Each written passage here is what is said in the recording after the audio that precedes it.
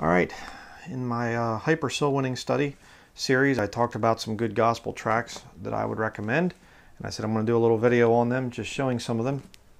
So that just happens to be this video. Uh, just going to show you a couple here really quickly. Um, this is one, just a real simple one. This is made by uh, Peter Ruckman. And um, I'm going to do my best to show these. I'm not going to set up the overhead camera and everything. But uh, Way to Heaven, and it just starts out, you know, um, repent of sin, and it explains that what it means there. It doesn't mean turn from all your sins and all this other stuff. You need to understand that you're a sinner, you know, and over there, um, same Savior for all, gives the scriptures, and on the back, same life for all. Okay, gives the scriptures. Just a real small little tract, very small.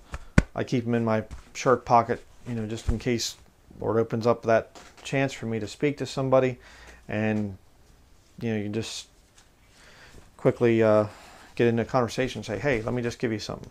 Hand it to them. Um, just a just a real basic understanding of the gospel. Um, another type that we've given out quite a bit, sent out, and everything else um, these right here. Make it even fancy for you, know. Fellowship Tract League. Um, these ones here. There's a this one you have. This is kind of a fun one to put out, you know, especially around Halloween time. Death happens every day, and you you can write your you know material or your uh, website or whatever on the back there. My wife had written our website there, Fellowship Tract League. But uh, these are good tracts. Um, again, they're they're nothing real uh, overly complicated. Here you have the same title. Is there something missing in your life? Right there, you can see. And uh, just little, again, just real short, you know, little tracts. Um, these are these are fun if you get like a you know, junk mail coming and it has the self-addressed stamped envelope. I call them sassies, S-A-S-E. You know, and uh, you get those. You can put one of these in. You know, something missing in your life, send it back to the people that sent you the junk mail. Uh, that's kind of fun. Um, for a long time, we were putting them in with bills and things too. Um, haven't done that in a while. Got to get back to that practice again. But this one here, a little funny story about this. Um, my wife had actually sent this to a guy in the military um, he was a colonel or something like this, and and uh, I forget how we had this, whatever else. And he calls me up, and he's you know somehow finds a phone number of the place I'm staying at where I'm living, and yet I didn't have the phone number listed at all. You know, just and I was like, "How'd you get the phone number?" And he's like, "Just simple search." And I'm like, "Yeah, right. okay. You're in the military. You're you're you know finding some interesting, you know, information and whatnot to get, you know, the phone number where I'm at. Just thought that was interesting. But uh, he was trying to threaten me all kinds of stuff, you know, and things, and and uh, and I basically, at, you know, at first kind of weirded me out because this guy's like, you know, there could be an investigation here and blah blah, and I, and then Lord just kind of gave me the idea. I did a video on it after this whole thing happened, but a couple years back, and I said, uh, what was this thing that was sent to you? And this is the one. He's like, "What? Well, it's some kind of a, a, thing, and it has a soldier on the front." And I said, "What was it about?" And he was like, "Some kind of a gospel presentation or something." I said, "What did it say?" And he's like, "Okay, well, just don't. I don't want any of that stuff being sent again. You know, thank you, goodbye." You know, I was gonna like, if I get him to the point of reading the thing, we would have had a good time. But he didn't want to read it for some reason. Um, of course, you have the uh, Chick tracts you know, and um, you know, um, you know, with these, I mean, there's, you know, I don't have a problem with a lot of the stuff that's done in here and stuff. This is more of the uh, kind of convict you if you're a Christian, not putting out gospel tracts, and uh, which is fine. Um, but then you get like this is the classic chick tract, you know, right here. And I had a brother write to me recently, and he said, "What about the thing of, you know, uh, you know, he was, uh, here you have him, he's in the grave, you know, kind of sleeping. and then over here he's you know arising and stuff like this. I don't think that it was intended there by Jack Chick to show that this was like a long span of time. He's just trying to show that the guy died, he's in the grave, and his soul leaves. Okay, which you know, uh, the soul does go to hell, and um, you know you read about that with the rich man that goes, his soul goes down to hell. Okay, if somebody dies, some wicked person dies, you can go there, and you can see their body. Okay, but their soul is in hell. All right, so that's what's going on there. But my issue with the Chick tracks, which um, has been brought up by different brethren is it says, uh, if you just trusted Jesus as your Savior, you have just begun a wonderful new life with Him. Now, number one, read your Bible KJV every day um, to get to know Jesus Christ better. I agree. Number two, talk to God in prayer every day. I agree. Number three, it's kind of bad.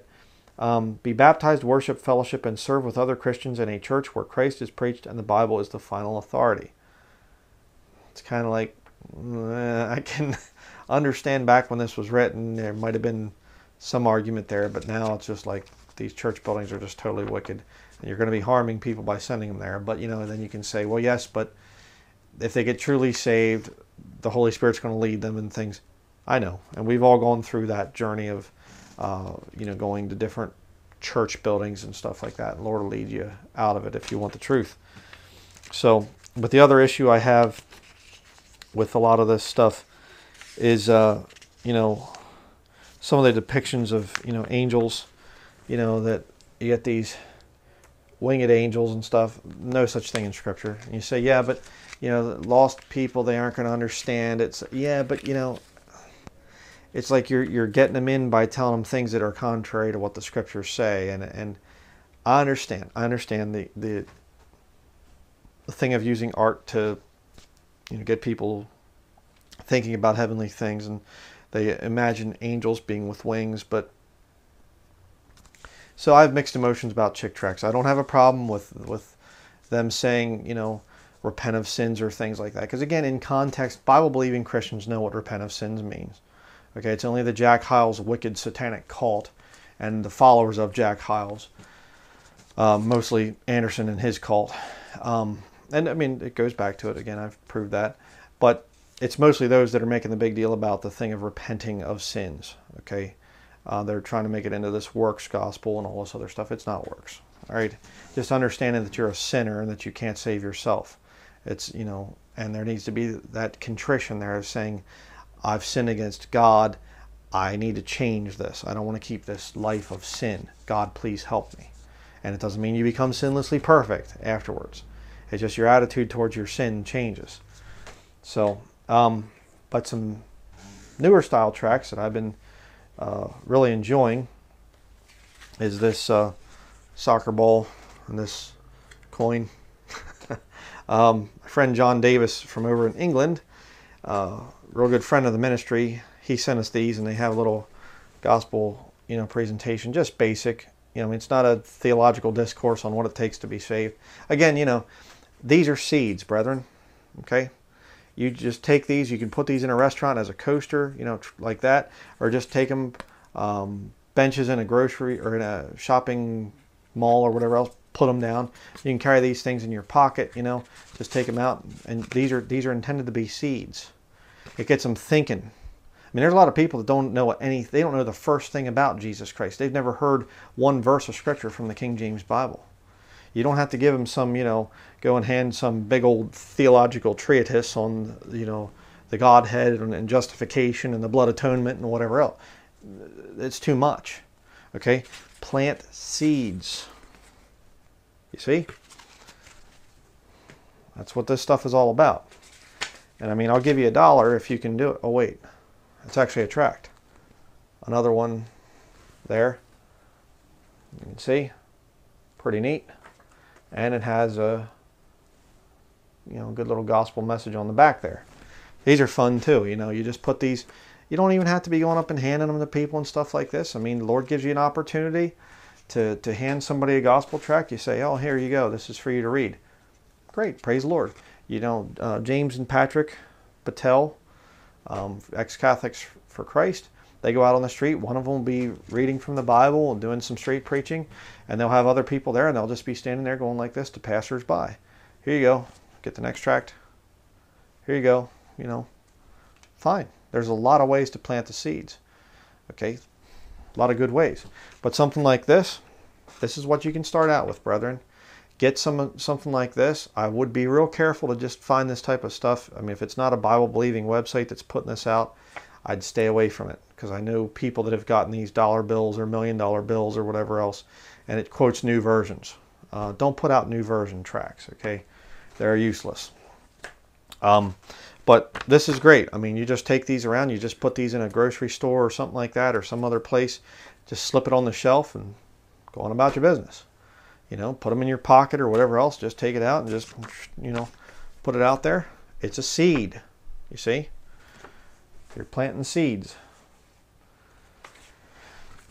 And again, you know, you're, all you want to do there is you're just trying to put uh, people in contact with the Lord. So, um, but then John Davis also has um, little neat little booklets like this. Uh, very soon, millions of people shall suddenly disappear. Put something like that in a bathroom, you know, someplace or whatever else. Again, you know, a little bit of advice: don't put tracts on top of the toilet, you know, like on the back of the toilet where the the, the you know tank is on the back. Certainly not on the toilet seat either, but don't put it near the toilet because then it's people associate oh it's dirty and whatever else. Put it up on top of the paper towel dispenser or someplace else that's there that people can see it okay? And you know it's kind of neat. It's kind of a spin-off of ruckman's a little booklet you know that he has there. You have very soon millions of people shall suddenly disappear and then you flip it over and it says why have millions of people suddenly disappeared? In case they missed it and it goes into some more stuff and you know there's a lot of good actually there's the kind of the cover of Ruckman's um, booklet. We used to hand them things out just by the hundreds years ago. But, you know, it gets into the thing of what they should do and things like that if they miss the rapture. Um, you know, good color illustrations and things too. Really, really good. But recently, um, Brother John sent me a bunch of things and uh, we uh, we just we love putting out stuff from the UK here because it just confuses people like crazy. They're going probably thinking, "Who's here from from England?" You know, handing out gospel tracts and things, and and we you know we've given things to people too, so it's great. But uh, he really has some good stuff. So I'm gonna. What I did is I actually you know we like go out and we got like pockets stuffed and things, and we look forward to winter time because we can wear our winter coats then, and we got tracts all through the things. Um, but summertime, you can't carry quite as many. And, you know, we always like, we'll run into somebody and we're like witnessing to them and it's like, oh, I just need that booklet. And can I give you something? Well, you know, I don't, it's like if we just had the booklet right there, work out much better. So went to Kmart and invested in this cheap briefcase. And this thing is filled with tracts. So um, just show you a couple things here quickly. Uh, to do the unboxing here. We have a big stack of the dollar bill tracks right there, which is nice. We have uh, a whole bunch of these things, little booklets, the, the disappearing rapture thing there. Um, is there life after death? Another good one. Um, the missing piece there. All right, yeah. And um, what shall it profit a man if he shall gain the whole world and lose his own soul? Right there, it's another good one. And um, where are they now? Talking about uh, where are they now, and then where will you be? On the back, talking about different celebrities. You know, people worship celebrities. This is a good one. You know, again, you can put this in places where people are sitting down and they you know, have to wait for something. It's a bench or something outside of a pharmacy or a doctor's office or whatever else. Just, you know, there's so many different options there. Um, and of course, we have, I've been also carrying um, these local church Bible publishers giveaway Bibles, and I have other ones too that I can give people. And I carry one of these in my briefcase. You know, and whenever I leave the house, I, this thing goes with me. I don't carry it through the grocery store or anything, but it's it's in the vehicle out there and everything else. Um, just show you a couple other things here. Um, he has bigger booklets as well, Life Than Eternity. Uh, I have a bunch of copies of that. And this is a good one too. You have, um, I guess this is maybe something that you give away or, or that kind of looks like England, English money or whatever else. I'm not really sure. But these are fun too to put out, kind of make get people's attention. This is one that I carry because we do run into Jehovah's Witnesses fairly frequently. Jesus Christ is God. So, uh, let's see, what else do I have here? Another one, designed or not designed? That is the question. See it there? Stack of those. Uh, good one to put around where there's motorcycle, like a motorcycle shop or, you know, things like that. Suzuki Hayabusa on there. John's cool motorcycle that he had. It's faster than my bike I used to have. I had a Ninja ZX11, but for you motorcyclists out there, it's before the Hayabusa came out, you know, but fastest bike on the road at that time, but it's another issue. But uh, just I have some more up front here and things and see if there's anything else different that I don't have. Uh, let's see, Eternity one. Yeah, this is another good one. Um, does anyone really care? You know, again, it's just so many different things here that you can put out. But, uh, you know, maybe you can use some of this stuff as a suggestion. I mean, um, get a briefcase, uh, put some Chick tracks in it, put some fellowship tract leagues in it, or, or you know, if you're in the UK, or even, I mean, he ships around too and things. I'm pretty sure. Um, but I mean, you know, get some stuff from John Davis. He's got some really good, you know, things out there. Uh, stuff that you can give, more detailed booklets, and and you know, whatever else that you can give away. So again, what is the point of tracting? the point of gospel tracting is not to, you know, oh, we're going to get millions of people saved by gospel tracting. You're planting seeds, brethren. Um, you plant seeds, somebody else can water those seeds, and God will give the increase. Um, I remember uh, when I was a little boy, this uh, this exact gospel tract right here. I remember somebody gave me a copy of that thing and I remember reading that as a little boy, and it made an impression on me. And um, you know, it's something I never forgot. So you you know, these things do change people's lives, and you know, uh, you can get really creative with your gospel tracting, and uh, you know, especially things like this. I mean, dollar bills or or whatever else. Uh, you know, these little soccer ball things here and stuff like that. Again, and you know, and they can go to John Davis's um, website there and and uh, you know find out some more things. I don't have any of them up here right now, but there's also metal gospel coins. John Davis sells some, and um, and then there's also ones that are aluminum. I've showed those in other studies. I don't think I have any up here right now, but they're nice. I mean, you can carry them in your pocket. They're they're waterproof so that you can you know, go outside, you're walking, taking a hike, you know, on, on a hiking trail or something like that, find an interesting place to drop a coin where people are going to see it. I mean, I've literally seen times where we're out, and I remember I was with my wife the one time, and uh, we were walking in this park, and we literally took a gospel coin, put it on the, we were like this old historical bridge, put it on the, you know, side of the bridge there, you know, that where you stand there and look down into the river and whatever, put it just right there like that, literally turned and walked over to the other side of the bridge, standing there talking. It was like maybe a minute. And this young girl looked like, you know, maybe 10, 11 years old. And she's walking along, and I see her. She goes, and she looks at the coin, goes over, stands there, looks to the side, looks to the side like this, picks the coin up. She's looking at it. right in her pocket, you know, and I mean, she knew what it was. She looked at the thing, right in her pocket. Her life just changed. That's the first seed.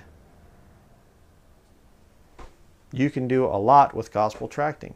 And you don't have to be some big, brave, bold evangelist that gets out there and let me tell you, you know, and stuff and preaching the word and stuff, you know, and, and standing on the street corner and, and the Bible said, you know, say, if the Lord ever leads you to that, great, praise the Lord. But start out small. Start out small, brethren. Plant some seeds. Okay? And there's a bunch more we could go over too, as far as gospel tracting is concerned. Make sure that they're using the King James Bible.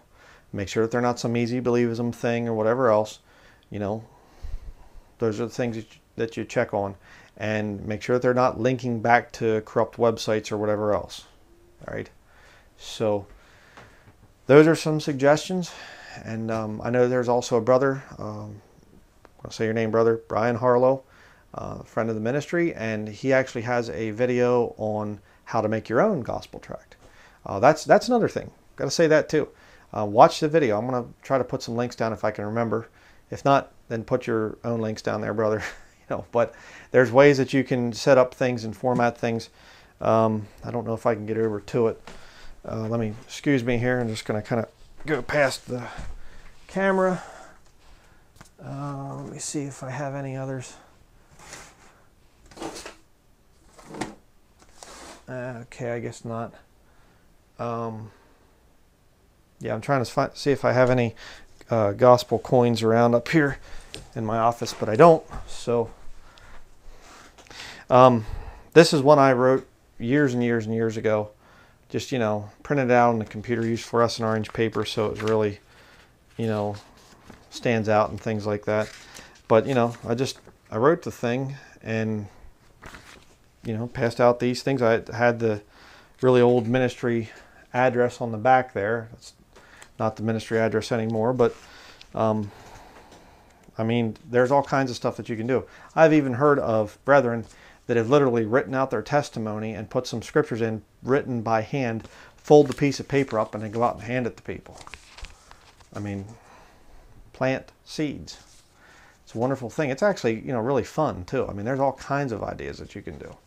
You know, I mean, gospel coins are great. I mean, you can go out and you can just, you know, throw them and stuff like that. And um, we actually had this thing one time. We got a little slingshot, you know, and, and we hold a gospel coin. You know, you hold the driving around, you go in with the window down, you know, ting, you know, fling out into a parking lot or whatever else. You know, it's great fun. You can have a lot of fun with gospel tracting. Uh, you don't have to be.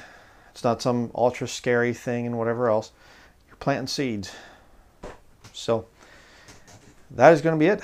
If you have any suggestions or anything else, uh, other ideas and things for creative tracting, um, comment section below. Uh, get creative. Uh, another, I got lots of ideas coming to the mind. Um, another fun one is to take a small tract or a gospel coin even, and the six packs of beer. You know, you got the handles on the side, little cutout. Go on over there and put the little thing down in. That's great. So and you know, the Lord will protect you through it, and Lord will bless you greatly when you do this too. Um, so there's a whole lot more I could say, but I'm just like, okay, I think I've said what I needed to say. Be creative. Make sure that they have the King James Bible on them.